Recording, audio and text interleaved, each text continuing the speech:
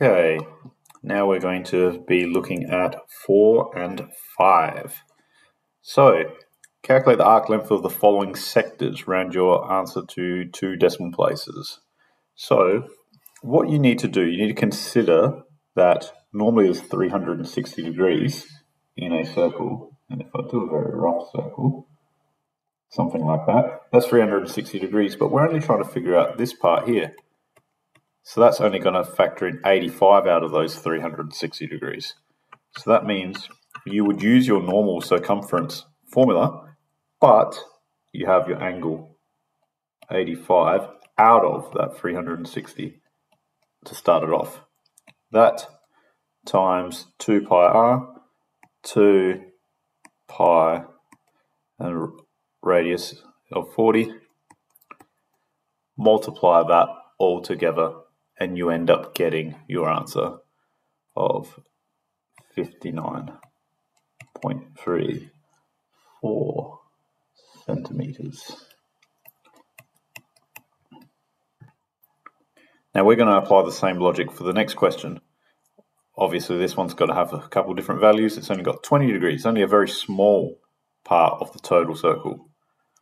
So 20 over 360 times 2 pi, and then you have the radius, which is 1 meter.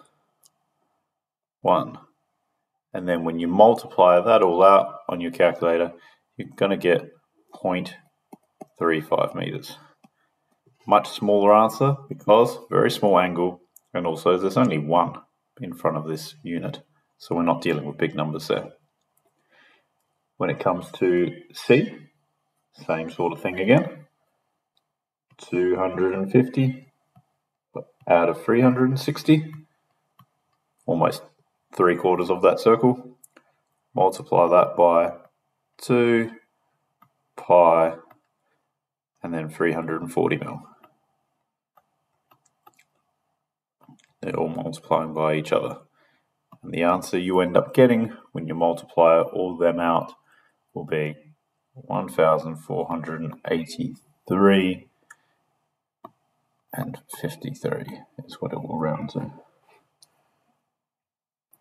Okay, now for the last one here, D, we have an angle of 180 out of 360. Oops, shows having that. That's half of the circle times pi this time, instead of doing the 2 pi r, we're going to just do the pi diameter because we've got the diameter here all the way from one side of the circle to the other. So pi times 2. Now, the answer that you end up getting here will be a little bit funny because you're getting half times 2 equals 1. 1 times pi, you end up just getting the value of pi, which 3.141, which will obviously round down to just 3.14 kilometers. Oh, I forgot my units over here.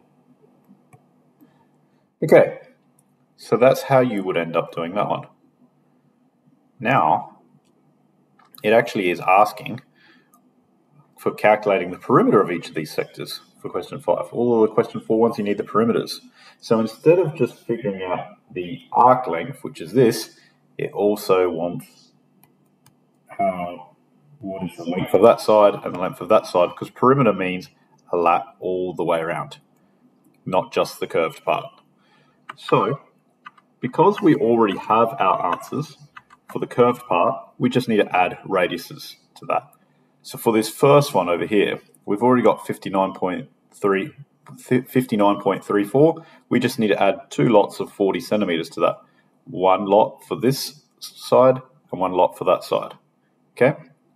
So 40 and 40 is 80. 80 plus 59.34 will get you 139.34 centimeters will be the answer for that one. For this one over here, B, you need to add two lots of a meter. It's a meter from there to there, and it's a meter from here to here, and we've already figured out that curve part is 0.35. So 0.35 plus 1 meter plus another meter, that ends up getting 2.35 meters. Sorry about the terrible two. So that's the answer for that one. For C, we'll, we've already got our answer here, and we just need to add 340 twice, which is 680.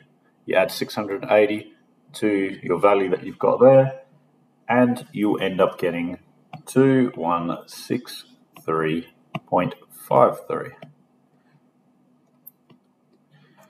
Now, if for whatever reason you didn't have all the values, if for whatever reason you were trying to work it out from scratch, all you're really doing is working out the curve and then just adding them on afterwards. So you would actually just do what we had already done earlier. But anyways, because we've already done it, we've got our 3.14. That is the distance from there to here. And now this time we just have to add the diameter because that's all that we're missing.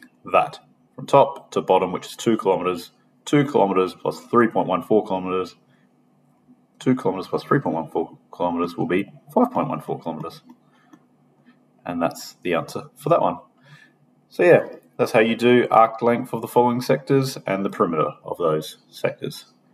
Um, yeah, just let me know if you've got any queries about what I've just spoken about.